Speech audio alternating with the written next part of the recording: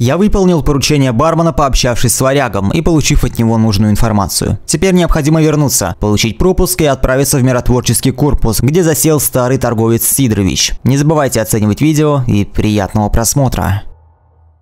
Приветствую, полковник. О, стрелок, какими судьбами? Да вот принес кое-что. О, М16. Переделанный под снайперку? Откуда это у тебя? Это бес передал. Он с ребятами у наемников их отбил. Просит патроны для калаша. Винтовки занимательные и вроде просит немного. Ладно, не буду тебя задерживать. Вот возьми патроны. Бесу привет. Хороший мужик. Жаль, что не с нами. Все, да, больше тут ни о чем особо не поговорить. Кто-то еще забрал у меня, получается, еще какие-то арты. Ну, он тот забрал у меня капли электрические, забыл уже, как они называются. Да вообще офигели. Где мне теперь все это искать? А чем пачки патронов назад понесем, получается? 8 килограмм. Ну, наверное, да. Сейчас лапшу убьют, ребят. Вот эти непонятные дурачки сталкеры с дробовиками. Я вообще не понимаю, кто это. Блин, я так забыл грозу посмотреть. Да не знаю, хватило ли бы у меня денег. Здравствуй, бес. Привет тебя Петренко. Зовет к себе. Не, стрелок, не пойду я к ним. У них свои дела, а у меня свои. Да и муштра ихние мне не по душе. Ладно, брат, вот патроны держи, как и обещал. Сп спасибо. И я для тебя кое-что припас. Мамины бусы. До встречи. Ну, в принципе, все с этим покончено. Дело сделано. Значит, опять пытаемся идти на кордон. Приветствую, бармен. Был я у варяга. Серьезный мужчина. Ну и что, удалось что-нибудь узнать по нашему вопросу? Да, удалось кое-что выведать. Есть один майор на блокпосту. Ерофеев его фамилия. Вот он как раз и нужен. У него должна быть ключевая информация по нашему делу. Ты не знаешь, Ерофеев на блокпосту сейчас? Знаю эту гниду, там он. Короче, нарисовывается такая картина. Придется немного повоевать с вояками. Пришло время. Пойдешь не один. Есть у меня трое бравых парней. Они сейчас как раз недалеко от блокпоста. Чуть левее, в низине где минное поле. Я им сейчас сообщу, чтобы выдвигались к блокпосту. Пока они отвлекут на себя внимание, ты постарайся проскочить. Ну а там по обстановке. Короче, с богом, стрелок. Вояк с ребятами постреляйте и заодно расчистите дорогу в миротворческий корпус. После того, как выведаешь у Ерофеева информацию, сразу ко мне. Расскажешь, что и как. А потом дам тебе пропуск к миротворцам и письмо для Сидоровича. Вот такой план. Ладно? Пойду Опять повоюю? Вот так, значит. У меня есть револьвер, если что, патроны к нему есть, есть. Он ваншотит, все-таки да не надо забывать. Ну и что, ну и пошли, получается, к воякам.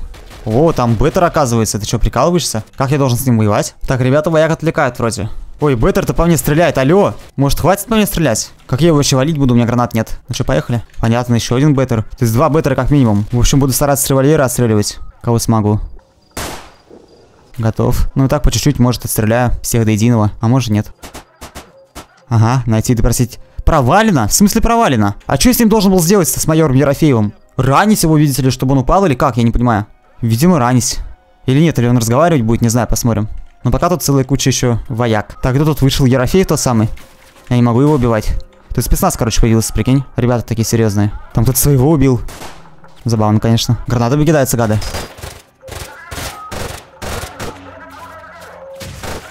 Так, ну все? Да нет, не все. Понял. А, так он умер опять. В смысле? Да ты прикалываешься, я опять сохранился, я не увидел, что квест провалился. Найти и допросить майора Ерофеева. А что он не провален-то? Вот он, капитан Ерофеев. В смысле? А, а есть еще майор Ерофеев. Что за бред вообще? А, то есть он разговаривает? Доброго дня. Ну что, Ерофеев, разговор у меня к тебе есть? Ничего. О, в смысле?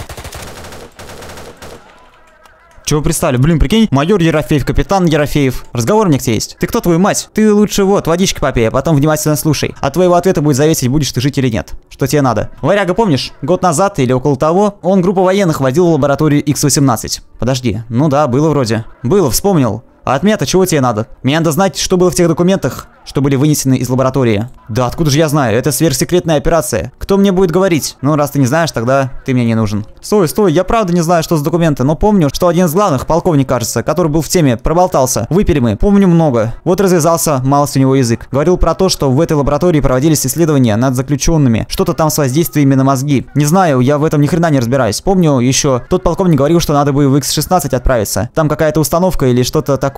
Там должны быть какие-то важные документы. Только как туда попасть. Уже две группы пропали. Вертолеты там практически не посадить. Все летчики говорят, как только к территории лаборатории начинаешь подлетать, штурвал как от рук отбивается. Вертолет сам собой как будто управлять начинает. Чертовщина какая-то. Это все? Клянусь, это все, больше ничего не знаю. Как же тебя замочить хочется? Ну да ладно, живи. Но если рыпнешься, не обессудь, пристрелю. Так, подожди, а по-моему, у капитана Ерофеева будет для меня кое-какой подарок. Фрагмент номер 4, тайника Семецкого. Поэтому извини, Ерофеев, это бармен сзади ко мне дело есть, да я понял. Два армейских бронежилета, уникальный Грави костюм. Ни хрена себе, плюс 170 килограмм, ты прикинь?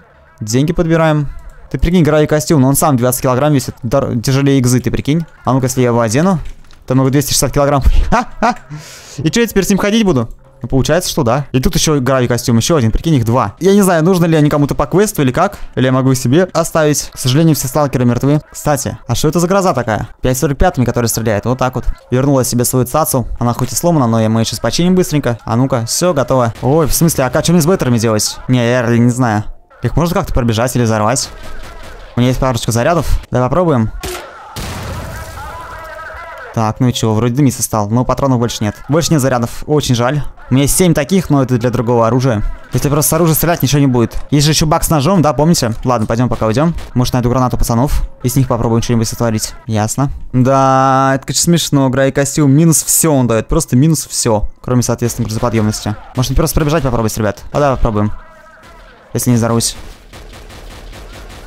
Два по мне стреляют, прикинь. И оттуда, и отсюда, господи. Посмотри, а, патроны ведь у него не кончаются. И здоровья у меня больше нет. Давай хоть хпшку будем пополнять. Двумя каплями души, или как они там называются. Конечно, они медленно лечат. Да, это гравий костюм, это, короче, для меня мечта, да? Намного больше он вмещает, чем бандитский экзоскелет. Бандитский экзе 140 килограмм я мог поднимать максимально, а тут 260. Не, ну это нужны суперские арты, например, да, тогда будет круто. Суперские арты, которые дают очень хорошие бафы, но я сомневаюсь, что у меня сейчас такие будут. Тем более, что мне варить не дают нормально. Воруют постоянно. Привет, бармен. Ну что там с Ерофеевым? От Ерофеева узнал, что в лаборатории X18 какие-то исследования над зэками проводились. И есть еще лаборатория X16, где какая-то установка. Так вот, он говорит, что там какие-то важные документы или еще что-то должно быть. Но только попасть туда непросто. Там какая-то чертовщина происходит. Слышал я про эту лабораторию. Действительно, опасное место. Ладно, надо будет покумекать, что дальше делать. Кое с кем посоветоваться. А ты пока иди в миротворческий корпус. Найди там Сидоровича в деревне на северо-востоке и передай ему от меня зашифрованное письмо. А заодно и о многомете у него узнаешь. Вот, держи письмо и пропуск миротворцам. Покажешь постовому ворот. Должны тебя пропустить. Миротворцы не вояки, они вначале думают, потом стреляют. Но все равно, поосторожнее с ними. Скажешь, что проводником работаешь у военных на кордоне. За пропуск не волнуйся, настоящий. Ну, почти настоящий. Никто не подкопается. Ясно, давай письмо и пропуск, я выдвигаюсь. Новый путь. Ну, смотрите, мы можем идти сейчас либо в миротворческий корпус к военным, да, к Сидоровичу вернее, там начать работать. Либо в Припять. Нам, конечно, далеко придется бежать, прикинь, аж на армейке, с армейк сюда, и тут переход в Припять. По делу Борова. Может, все-таки квест Борова сначала будем выполнять, потому что вот этот квест это основной сюжет. Хотя, с другой стороны, вы скажете, да ты же близко, давай лучше тут выполним, а потом пойдем туда. Но, может быть, вы правы. Давай, наверное, все-таки сначала это выполним. Для начала, я думаю, надо лечь поспать, потому что время позднее. Надеюсь, у меня прямо из инвентаря вы его воровать не будут. Граю костюм можно, кстати, продать, но за 6 тысяч, грубо говоря, да? Тогда как тут написано стоимости 150 тысяч. Вот так вот. Ладно, что, идем в миротворческий корпус. Правда, могли уже появиться там вояки, ибо я поспал. Но пойдем посмотрим. А, так там еще и БТР эти будут, господи. А что мне с ними делать? Он поствольные гранаты не продает. Они вообще ничего не продают, то, что нужно. Сидорыч и вообще все остальные торговцы. Ну, где, например, Жикан, дробь, ничего этого. О, дробь есть, а Жикан где? Жикана нет, ну и понятно. Я перешел, направляемся, видимо, вперед. Там будет пропускной пункт, покажем свой пропуск, который у меня где, кстати, не знаю. А, вот он, и письмо Сидору. Так, тебе показать? Да нет.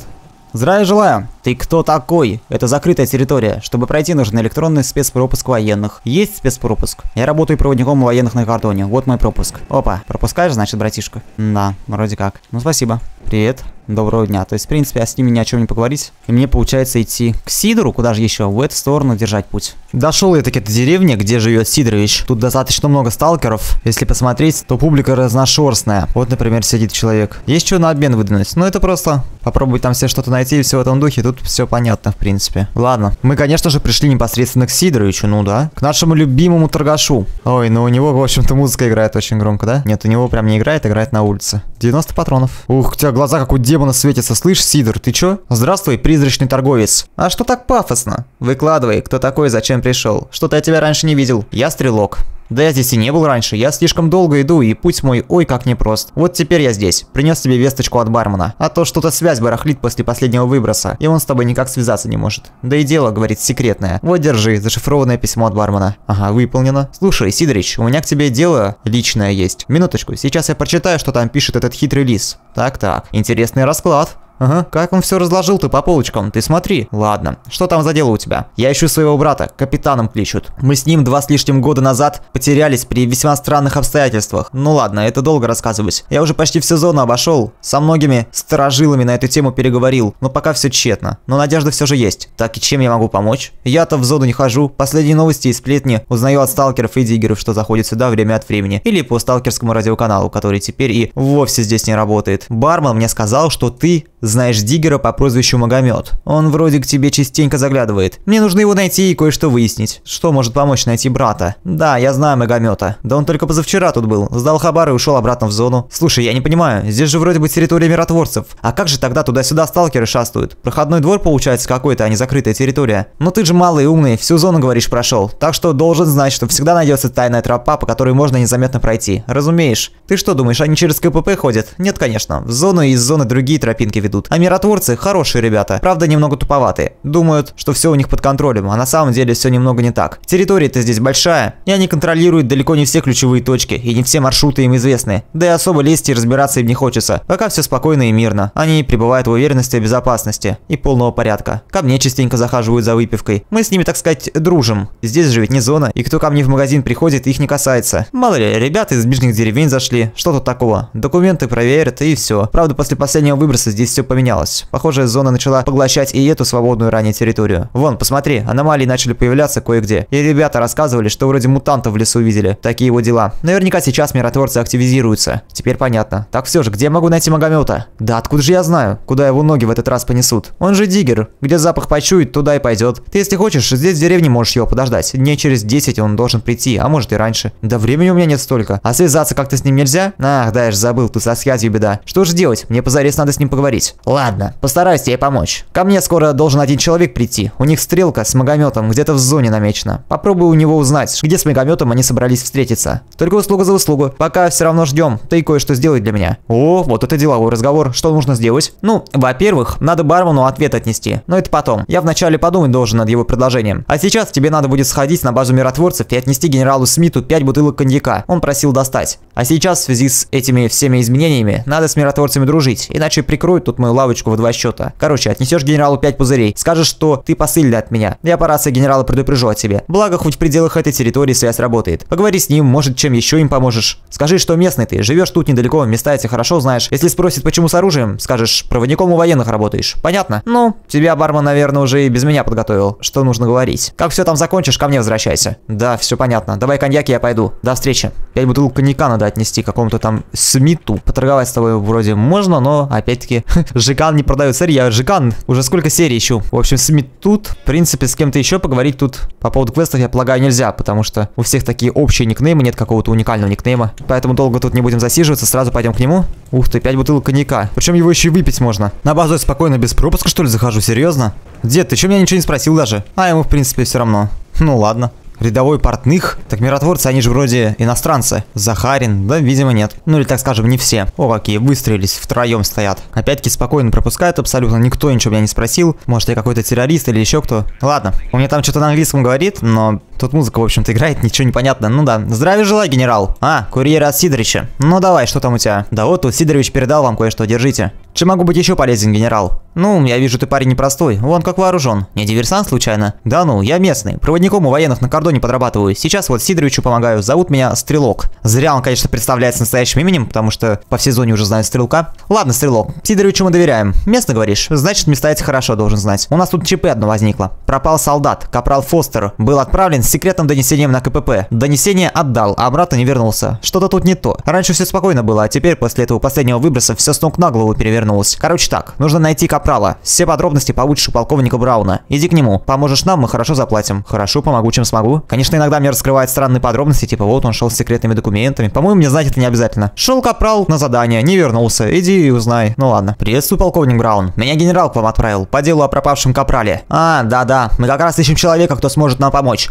Проблемы в следующем. Капрал отнес документы на КПП и должен был вернуться, но не вернулся. Вот уже двое суток его нет. Сигнал его ПДА мы отследили. Сигнал слабый, но устойчивый. Выйти на связь не представляется возможным. Постоянные помехи. Прочесали весь квадрат. Безрезультатно. Он как сквозь землю проводился. Короче, мои люди простые солдаты. Нужен опытный диггер. Я так понимаю, ты проводником работаешь у военных, верно? Да, все верно. Зовут меня Стрелок. Давайте мне координаты места, откуда сигнал идет, и я попробую отыскать Капрала или узнать, что там с ним случилось. Давай, Стрелок, свой ПДА, отмечу радиус поисков. Обязательно отыщи и, если живой, приведи Веди капрала Фостерса сюда, на базу. Мы в долгу не останемся. Все понял? Отмечайте место, и я выдвигаюсь на поиски. Опять-таки, что я хочу сказать. Очень странно, что он его так берет, и наш герой и представляется настоящим именем. Меня зовут Стрелок. Но ведь они могут взять и пробить. Кто такой Стрелок? Действительно ли он Диггер? А тут опа всплывает, что я уже ползоны исколесил, дюжину людей уничтожил. Ну хорошо, ладно. Ага, значит, там надо как-то подняться наверх. Возможно, тут где-то есть вход в пещеру. Я более подробно изучу это место. Все же мой ПДА улавливает кого-то. Кто-то тут живой есть. И это Капрал Фостерс, он живой, ребята. Вот и вход в пещеру прикрытый. Собаки какие-то. Тише, тише. Вот они Капрала Фостерса и загнали. Так, это еще не все, тут контролер. У меня уже был опыт встречи с контролером, и я подвергался его воздействию. Тут я чувствую нечто такое же. Также я слышал снорков, как мне кажется. Где же эта тварь, непонятно. Так, он прям совсем все. Понял. Готов. Ух ты, там, в общем-то, кровосос и контролер Деруса. Да. То есть снорк, снорк и контролер, конечно, я что-то перепутал. Спасибо тебе большое, ты служил мне службу. Вторую серию подряд мутанты мне помогают частично. Ну, конечно, они не мне помогают, а убивают своего противника, но тем не менее, он замочил контролера. Хотя контролер тут не представляет угрозы. Ладно, сержант Фостерс, или как его там, капрал, капрал, конечно же. В ящике мы находим аптечку и бинт. И, видимо, конкретно тут жил контролер, потому что его вот тут на выходе убили. То есть, представляешь, он тут жил, у него была аптечка, бинт, три ящика, а в них что? Обрез, ух ты. Жикан, о, и бинты, два. Прикинь, короче, жикан, в коробках только буду находить. И то 20 всего лишь, ну то есть это один магазин для грозы танкиста, что в принципе мало. Так, ну что, нам нужно ниже. Братишка, ты живой? Живой. Доброго дня. Ну здравствуй, капрал. Спасибо тебе, ты мой спаситель. А то я уже думал, что все, каюк мне, сожрут меня на обед эти твари. Как зовут моего спасителя? Зови меня Стрелком. Как тебя вообще угораздило здесь оказаться в такой дружеской компании? Ох, Стрелок, и не спрашивай.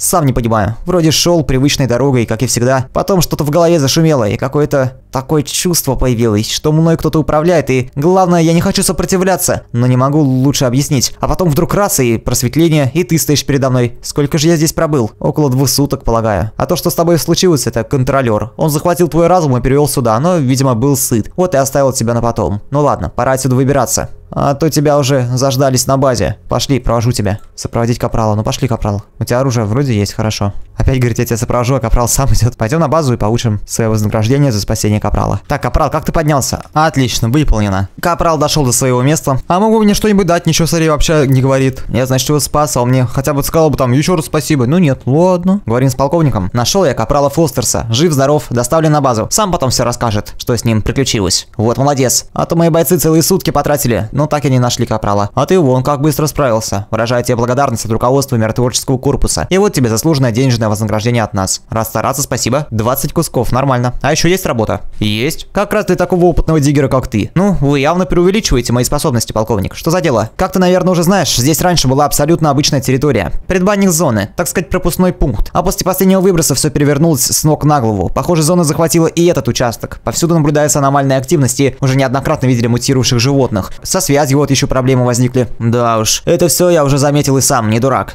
Так что от меня требуется? Понимаешь, мои люди, они солдаты, просто солдаты. Им не положено думать и принимать решения. Ты другой, ты сам по себе, ты выживаешь, а не живешь. Ты думаешь и взвешиваешь. Каждый свой шаг, каждое свое действие. В конце концов, ты сам всегда принимаешь решения. Я прав? Прав. Я таких, как ты, насквозь вижу. Одиночки. Сами себе на уме. Ну да ладно. Сейчас как раз твой опыт нам и нужен. Полковник, хватит философии, давайте ближе к делу. Хорошо, согласен. Еще больше сказал.